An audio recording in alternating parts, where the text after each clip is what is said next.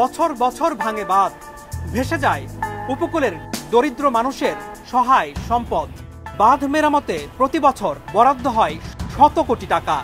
কিন্তু পরের বছর আবারও সেই বানভাসী হওয়ার গল্প। এ যেন নিয়তির চক্র। আমরা দেখাতে চাই কীভাবে উপকূলের বেড়িবাঁধ রক্ষা আর সংস্কারের নামে চলে সীমাহীন দুর্নীতি। আর অরক্ষিত থেকে যায় উপকূলের কোটি মানুষের জীবন, অর্থনীতি। উন্মোচন নিয়ে আজ আপনাদের সঙ্গে আছি আমি আনোয়ার হোসেন।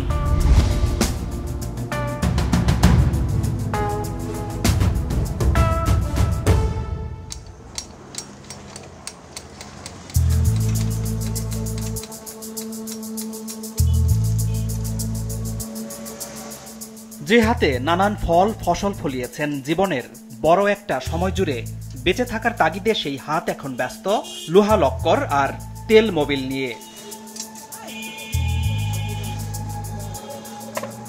বারবার বাঁধ ভেঙে বাপদাদার ভিটেমাটি, জমি জিরে তার সম্পূর্ণ গৃহস্থালী হারিয়ে বাস্তুচ্যুত ফজলুলের অসুস্থ মেয়ে আর স্ত্রীর আশ্রয় জুটেছে মিরপুরের এই ছোট্ট খুপড়িতে। ভিডিও বাড়ি ছিল, আমি নালজুমি ছিল হয়তো সব শেষ। বেরি বাস ছিল, কয়েকবার দেশে তো গেছে গা ভাঙিয়ে ছুটিয়া। তা এখন কি করব? দেশে দেখে কই থাকুন কই খামু? বাপের অর্থ সম্পদ তো নাই। এখন ঢাকা ইয়ে পড়ে রয়েছি। এই গল্পগুলোর শুরু কীভাবে, তা খুঁজতে উপকূলীয় জেলা সাতক্ষীরার পথে আমরা।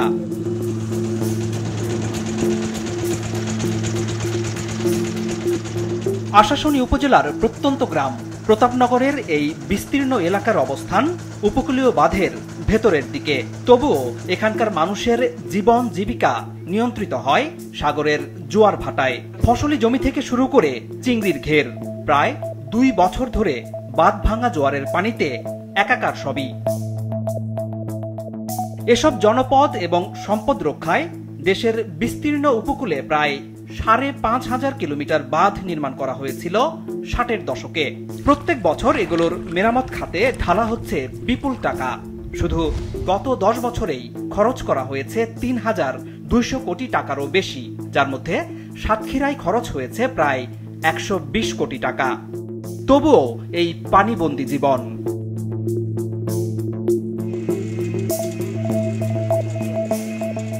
বিচ্ছিন্ন প্রতাপনগর ইউনিয়নে গাড়ি নিয়ে যাওয়ার উপায় নেই। পিচ ঢালা পথ থাকলেও যাতায়াতের ভরসা ইঞ্জিন চালিত এসব নৌকা। স্থানীয় চেয়ারম্যান শেখ জাকির হোসেন পথ দেখিয়ে নিয়ে যাচ্ছিলেন হরিশখালী এলাকায়। চারিদিক ডুবে আছে। ঘরবাড়ি, স্কুল কলেজ সহ সরকারি, বেসরকারি সব স্থাপনা।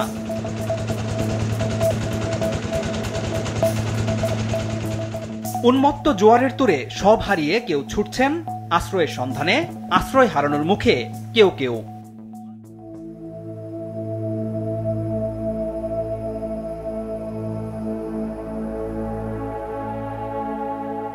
বেলা শেষের প্রহর গুনতে থাকা আফসার আলী তেমনই একজন যার শূন্য দৃষ্টিতে শুধু সোনালী অতীত আর অনিশ্চিত ভবিষ্যতের ছায়া। না আগে ভালো কাটাতাম রাস্তাঘাট ছিল বাড়ি ঘর দরজা সব ভালো ছিল। ভেঙে যাই তো এই বিল্ডিং যাই সব এই অবস্থায়। এই দুর্ভোগের শিকার সবাই বছরের পর বছর দিনের পর দিন। আর কোথায় এখানে ভাঙে? ওখানে বাঁধে ওখানে ভেঙে এখানে বাঁধে এই অবস্থা।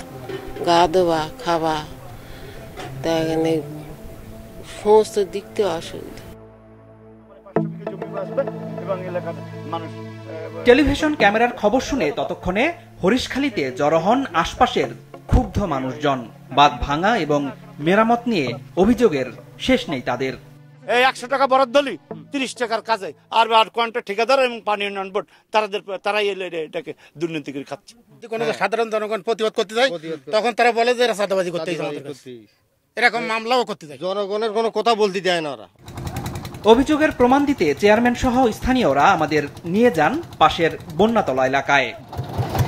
আমি এখন যে বাঁধের পাশে আছি সেখানে আমপানের সময় এখানে একবার ভেঙেছে এবং এরপর এবছর যে ইয়াস আঘাত হানলো, সেই ইয়াসের সময় এখানে আবারও ভেঙেছে। কিন্তু ইয়াস ঘূর্ণিঝড়টা কিন্তু বাংলাদেশে আঘাত হানেনি।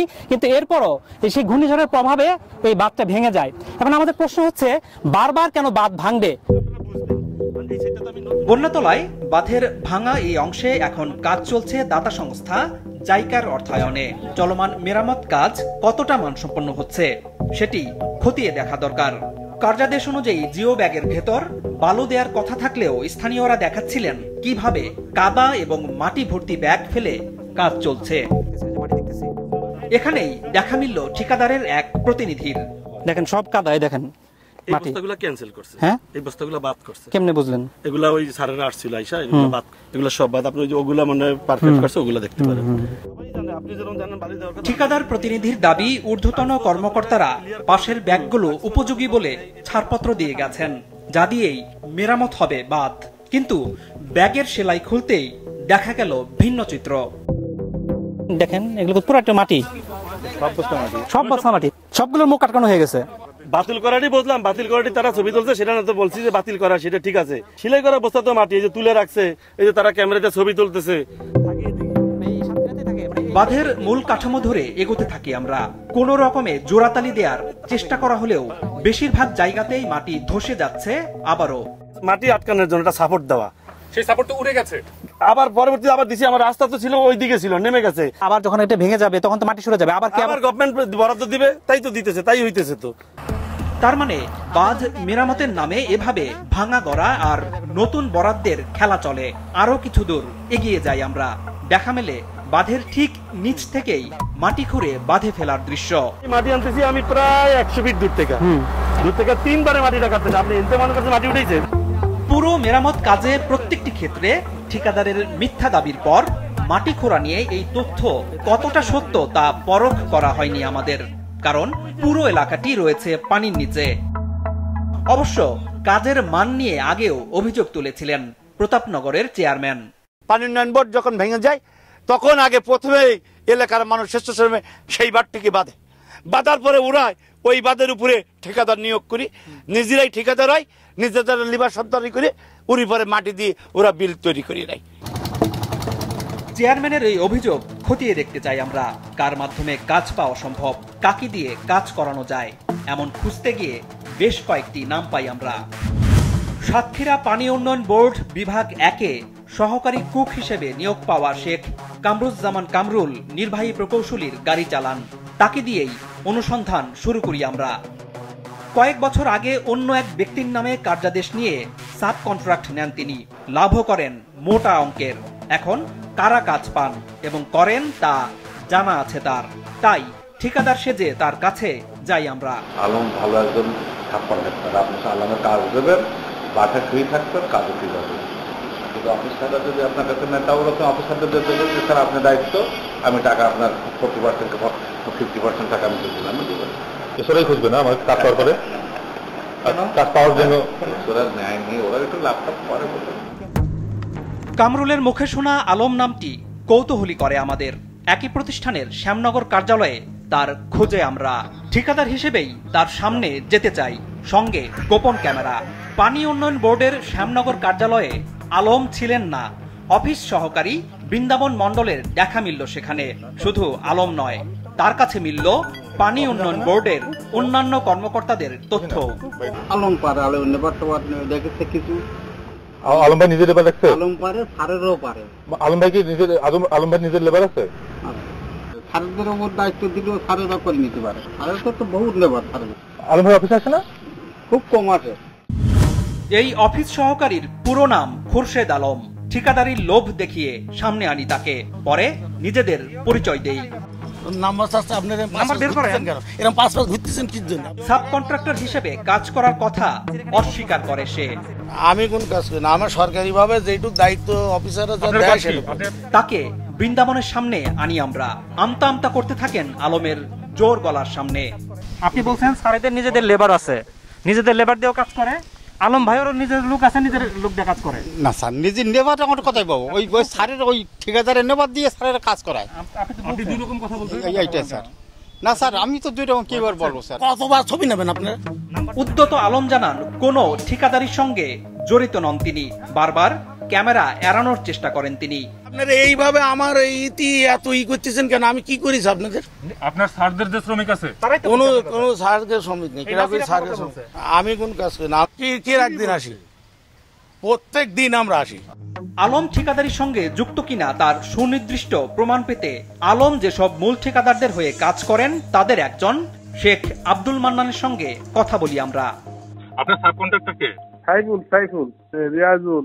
আলম ভাই আপনার কোনো কাজ করতেছে না? হ্যাঁ করছে। আলম ভাই আপনার কোনটা কাজ করতেছে? দুর্গাবাড়ি। দুর্গাবাড়ির কাজটা আলম করতেছে তাই না? জি জি। সাতক্ষীরা পানি উন্নয়ন বোর্ড বিভাগ একের নির্বাহী প্রকৌশলী আবুল খায়ের। আলম কিংবা কামরুলের মতো কর্মচারীরা তার অধীনেই কাজ করেন। কাজের নামে ভাগ বাটোয়ারায় তাদের নামও যুক্ত। নির্বাহী প্রকৌশলী এসব কাজের বরাদ্দ দেন। সাথে যারা যুক্ত তারা ঠিকাদার নিয়োগ করে না, এরকম কেউ নেই। এরকম কোনো আপনাদের না। আমাদের কাছে কিন্তু এরকম তথ্য আছে। তথ্য থাকতে পারে। এখন আপনি যাচাই করে দেখেন সত্য তথ্য না অসত্য তথ্য সেটা হলো আপনার ব্যাপার। তবে শুধু অফিস সহকারী কিংবা কর্মচারীরাই নন ঠিকাদারির সাথে জড়িত কর্মকর্তারাও। সাতক্ষীরা পানি উন্নয়ন বোর্ড বিভাগ দুয়ে গত দুই অর্থ বছরে মোট তিরানব্বইটি জরুরি বাঁধ মেরামত কার্যাদেশ দেয়া হয়েছে। খুলনার কয়রা উপজেলার বাঁধের অংশটি এই বিভাগের আওতাধীন।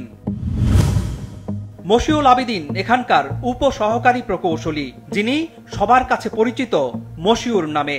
আমরা কয়েকজন ঠিকাদার এবং লেবার সর্দারের সঙ্গে কথা বলে জেনেছি। মশিউর সাব কন্ট্রাক্টর হিসেবেও কাজ করেন।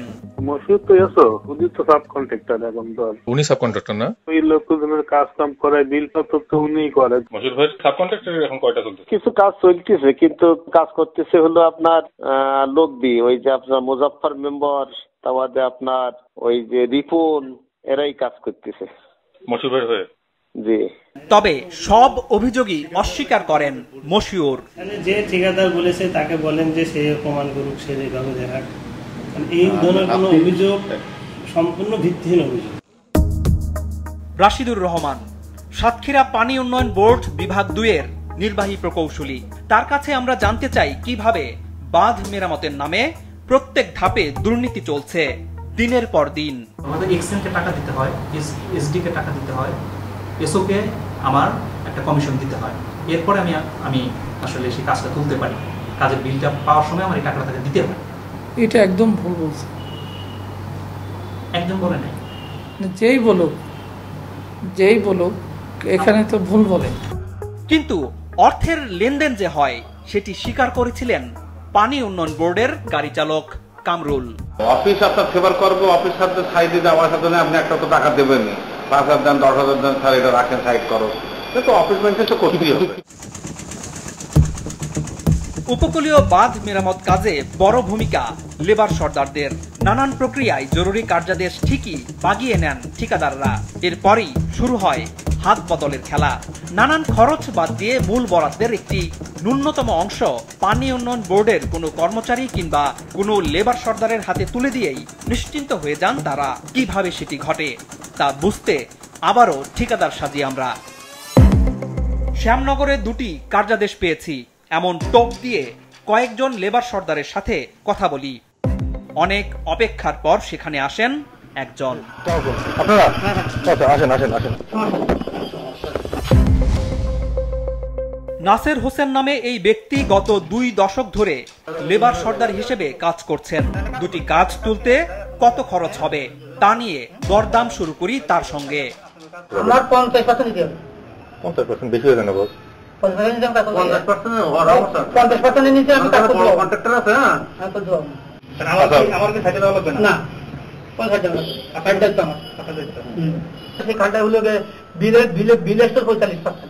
শেষে পরে আমরা এত ম্যানেজ করি তাই টাকা টাকা দিয়ে এখন পঁচাশি পঁচাশি পার্সেন্ট বেরিয়ে তারপরে বলেন?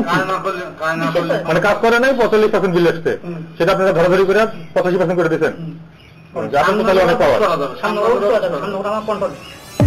উপকূলীয় বাঁধ নির্মাণের ক্ষেত্রে বরাদ্দের টাকা কীভাবে পানি উন্নয়ন বোর্ডের বিভিন্ন স্তরে ভাগ বাটোয়ারা চলে সেসবও উঠে আসে নাসেরের কথায়। ঢাকা থেকে যে ইয়ে দেখতে আসবে কাজ মূল্যায়ন করতে হ্যাঁ? আমি তো- আমি আমি থেকে দেখাবো আমি আমার উপর দায়িত্ব দেবেন। থাকা পড়া যাওয়ার সময় গাড়ি ভাড়া দিতে। কীরকম তাও? ও যে এরকমটা হিসেব করে দিতে। তারপরে যদি মাটি কাগজের পঞ্চাশ পার্সেন্ট দেই। ভ্যাটটা দিল পনেরো পার্সেন্ট তাহলে পঞ্চাশ আর পনেরো কত? পঁয়ষট্টি। পঁয়ষট্টি। তারপরে হলো এক্সচেঞ্জে দিলাম দশ। পাঁচ পাঁচ পাঁচ। পাঁচ দিন এক্সচেঞ্জে পাঁচ পাঁচ। তাহলে পঁয়ষট্টি আর সত্তর। আর পাঁচ পাঁচ খরচ আর খরচ দিলাম পঁচাত্তর। তাহলে আমার তো পঁচিশ খুব কম হয়ে যায় না। দুই বছর ধরে টাকাটা করবে হাফ টাকা দিয়ে দেবেন আর এক বছর পরে হাফ টাকা।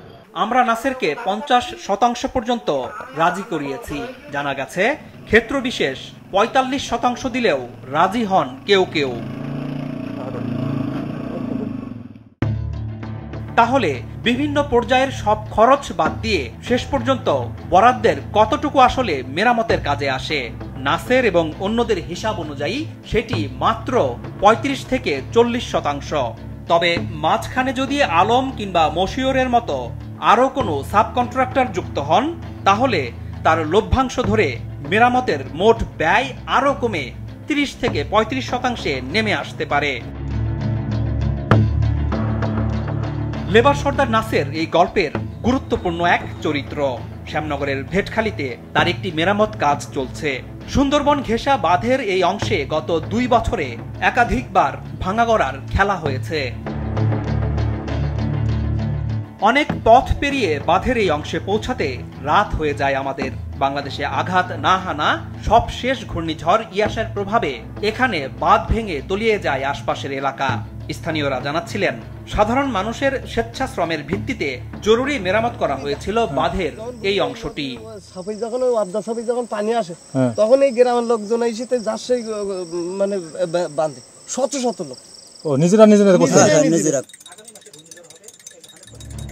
স্থানীয় ইউনিয়ন পরিষদের চেয়ারম্যান আবুল কাশেম তাৎক্ষণিক ওই মেরামত কাজের নেতৃত্ব দিয়েছিলেন। ভেটখালি বাজারে দেখা মিলল তার। যে সময় জলোচ্ছ্বাস হয়, ঠিক সেই সময় এসো সাহেব আমার বলছিল যে, চেয়ারম্যান সাহেব, অন্তত আপনি এখানে কাজ করেন, এখানে কাজ ধরুন আমি আপনার কিছু পারিশ্রমিক দেব। এই পর্যন্ত তার পারিশ্রমিকের এখনে বলে আমি কাগজ লিখে পাঠাইছি, আপনাদের এখনে বরাদ্দ আসেনি, আসলে আমরা আপনার দেব। সেই জায়গায় টেন্ডার ইয়ে সেই জায়গায় বরাদ্দ ইয়ে এস্টিমেট করিয়ে সরকারিভাবে কন্ট্রাক্টরের মাধ্যমে কাজ করতেছে। দুর্নীতির নতুন দিক এটি। নামে মাত্র কাজ দেখিয়ে কিংবা না দেখিয়ে যে বরাদ্দ হয়, সবই ভাগ বাটোয়ারার উদ্দেশ্যে। সেসব রাজি না হলে কার্যাদেশ মেলে না। অনেকেই কাজের অংশ নেওয়াও বাদ দিয়েছেন। আব্দুর রাজ্জাক তেমনই একজন। আমরা কাজ করার পরে হয়তো দেখা যায় অনেক ইনস্ট্যান্টলি কাজ পুরাটা করতে পারছি না। অনেক সময় দেখা যায় করা সম্ভব না। তখন মোটামুটিভাবে আন্ডারস্ট্যান্ডিং করে আমাদের বিলটা ফাইনাল করে দিয়ে দেয়। এটাই যেটা বাস্তব কথা আর কি। এটা এটা নিখুঁত কন্ট্রাক্ট যারা করে তাদের দিতেই হয়, নিতেই হয় গিভ অ্যান্ড টেক পলিসি তো এটা আছেই। এমন সব অভিযোগ শুধু দুই একটি এলাকায় কিনা সেটিও খতিয়ে দেখার চেষ্টা করেছি আমরা।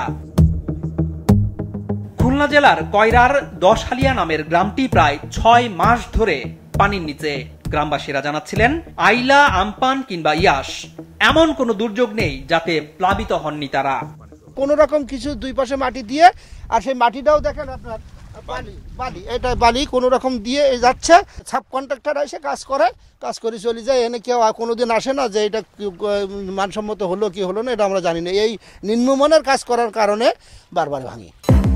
এখানেও দেখা মিলল কাদামাটি ভর্তি জিও ব্যাগের। যদি বালি ঢালেন ঢাললে এরকম মাটি পাওয়া যাবে সব বস্তার ভিতরে এখানে থাকার কথা ছিল তো বালি কিন্তু আছে এখন মাটি। চওড়া কোনো ঢাল ছাড়া এমন ভঙ্গুর বাঁধের কাজই যেন শেষ করা হয়েছে আরেকটি ছোটখাটো বিপর্যয়ের অপেক্ষায়। আমরা পনেরো বিশ বছর দেখতেছি এইরকমই বান এর থেকে কোনো ভালো বান হয় না। আমরা জানি টেকসই মজবুত ভালো বান হবে কিন্তু এই পর্যন্ত পনেরো বিশ বছর হলে কোনো টেকসই মজবুত ভালো বান এর থেকে হয় নাই। ম ইনামুল হক সবশেষ কাজ করেছেন পানি সম্পদ পরিকল্পনা সংস্থার মহাপরিচালক হিসেবে। প্রশ্ন তুললেন দুর্নীতির এই বলয় থেকে সংস্থাটির বের হয়ে আসার সদিচ্ছা নিয়েই। যেখানে যে সকল জায়গাতে একটা চলতি দুর্নীতি আছে সেই চলতি দুর্নীতির যে সমস্যাটা সে যদি একটা অজুহাত দিয়ে সে টিকিয়ে রাখতে পারে তাহলে তো ভালো। চাই যে সমস্যা সমাধান না হোক সমস্যাটা থাক তাহলে এবারে বরাদ্দ আসবে দুর্নীতি হবে বরাদ্দ আসবে দুর্নীতি হবে। রাজধানীর পান্থপথে ঝকঝকে এই ভবনটি পানি উন্নয়ন বোর্ডের প্রধান কার্যালয়। মাঠ পর্যায়ে অগন্তি দুর্নীতি আর সেসবের কারণে মানুষের অবর্ণনীয় অসহায়ত্বের কথা জানানো হয় সংস্থার মহাপরিচালককে। দুর্নীতির প্রশ্নে আমতা আমতা করেন তিনি। গদ বাধা জবাব তৈরি ছিল তার কাছেও। অনিয়মের বিষয়টা এটা মানে আমি বলব যে, অনিয়ম হয়তো ওই যে বললাম যে, হলেও আমার চোখে পড়ে নাই, তবে আপনারা যেটা বলছেন, যদি এই ধরনের কোনো অনিয়ম হয়, আমি সেটার ব্যবস্থা নিব।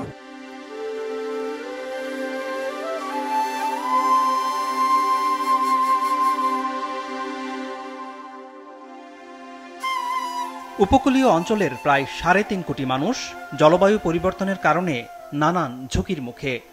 এদের মধ্যে বাঁধ ঘেঁষে বাস করা এই মানুষগুলোর অবস্থা নিতান্তই করুণ। অথচ এদের রক্ষায় আয়োজন উদ্যোগ খুব কম নয়। বিপুল বরাদ্দ প্রমাণ করে সরকারের সদিচ্ছারও। কিন্তু লোনা জল থেকে মানুষ আর সম্পদ রক্ষার সেই বরাদ্দ শেষ পর্যন্ত সাগরের জলেই ঢালা হচ্ছে কিনা তা দেখার কেউ নেই। তাই নিয়তিও বদলায় না উপকূলের এই ভাগ্যহত মানুষগুলোর।